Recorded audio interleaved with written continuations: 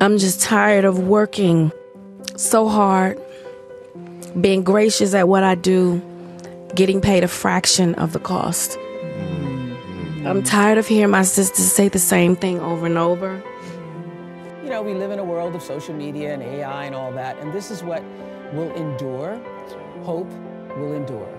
Forgiveness will endure. Oprah finally breaks silence on Taraji P. Henson pay controversy, but it seems like she is trying to settle it to hide some serious truth. Here is why. In the midst of the unfolding drama surrounding unequal pay in Hollywood, Taraji P. Henson and Oprah Winfrey have taken to social media to quell rumors of tension between them. Their recent praises for each other seem to be an attempt to diffuse any potential discord, especially considering Henson's recent revelations about pay disparities during the press tour for The Color Purple. Oprah, the executive producer of the musical adaptation, posted a carousel on December 22nd, featuring photos of herself with Henson, both on and off set. Expressing admiration for Henson's talents, Oprah welcomed her to the Purple Sisterhood and anticipated standing ovations for her portrayal of Shug Avery. In turn, Henson, the star of the film, posted on December 21st, describing Oprah as a steady and solid beacon of light for the entire cast. She clarified that Oprah had provided unwavering support,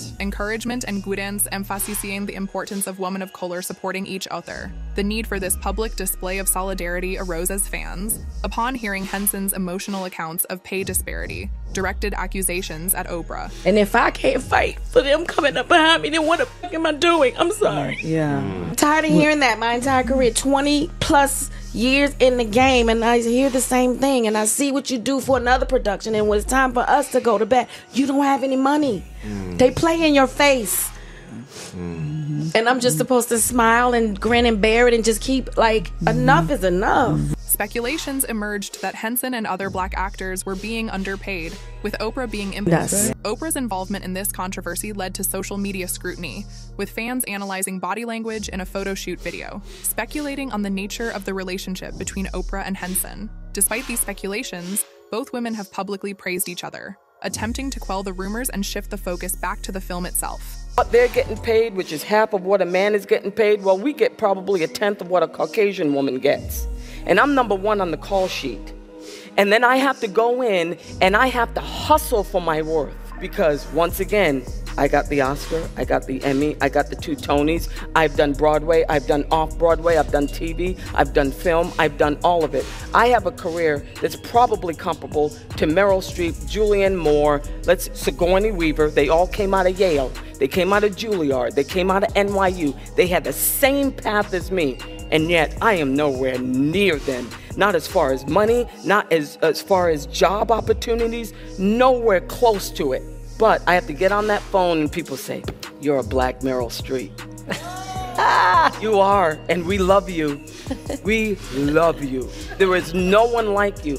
Okay, then if there's no one like me, you think I'm that? You pay me what I'm worth. As this controversy continues to unfold, it serves as a stark reminder of the systemic issues of unequal pay in Hollywood, especially for black women actors. The fate of The Color Purple now hangs in the balance, with the public closely watching how these revelations will impact the film's release and the broader conversation about equity and representation in the entertainment industry. I'm just tired of working so hard, being gracious at what I do, getting paid a fraction of the cost. She confessed in an interview with Gayle King, the sincerity in her voice transcending the airwaves. Her words painted a stark picture of the struggles faced by black women in Hollywood, a narrative that, as she lamented, seems to replay itself relentlessly, like an unwelcome refrain. But the storm intensified as whispers on social media accused Oprah Winfrey, the queen of media herself, of being complicit in this systemic underpayment.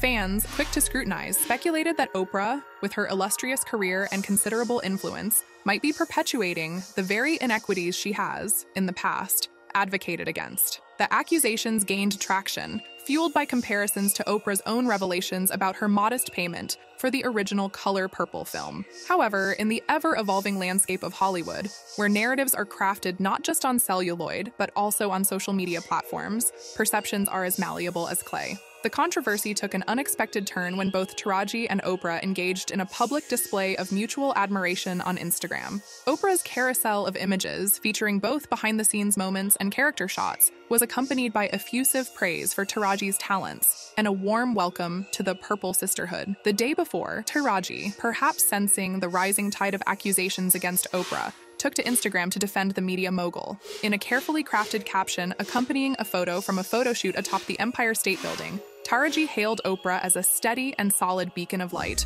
to the entire cast of The Color Purple. She spoke of Oprah's unwavering support, guidance, and encouragement, and thanked her for being a decision making black woman who made her feel heard with just one call and one conversation. The dueling narratives of inequality and solidarity paint a complex portrait of Hollywood's power dynamics, where success and struggle coexist, often within the same frame. The question that lingers in the minds of onlookers is whether these social media gestures are genuine expressions of support or strategic moves in a carefully choreographed dance to preserve the image of an industry luminary. The skepticism arose not just from the accusations of underpayment, but also from a deeper dive into the historical context of black women navigating the labyrinthine corridors of Hollywood. Taraji, with her raw and unfiltered honesty, became a conduit for the stories of countless black actresses who found their voices stifled by an industry that seemed to perpetually underestimate their worth. In the annals of Hollywood's checkered history, the revelation about unequal pay for black actresses is not a novel chapter. Viola Davis, a revered actress with an illustrious career, once shared her frustrations at a Women in the World event in 2018, comparing herself to white counterparts like Meryl Streep and Julianne Moore. You're a black Meryl Streep. you are, and we love you. We love you. There is no one like you. Okay, then if there's no one like me, you think I'm that? You pay me what I'm worth. Davis lamented the vast discrepancies in pay and opportunities. Her words, though poignant, were not isolated echoes. Other voices too joined the chorus, underscoring the systemic nature of the issue. The specter of unequal pay extends beyond the glitz and glamour of Hollywood premieres. It infiltrates negotiations, contract discussions, and the very essence of an artist's struggle. Octavia Spencer, an Academy Award winning actress, revealed in a Sundance panel in 2018 how her co star Jessica Chastain played a pivotal role in negotiating equal pay for both of them on a film Chastain was producing.